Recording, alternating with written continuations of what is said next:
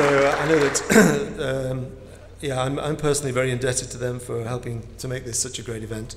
So I just want to say some good events coming up. John Young will be speaking somewhere quite soon about something somewhere. Uh, hopefully it'll, it'll be on the website, but I do urge you to come along. It's going to be a really lively session on... Uh,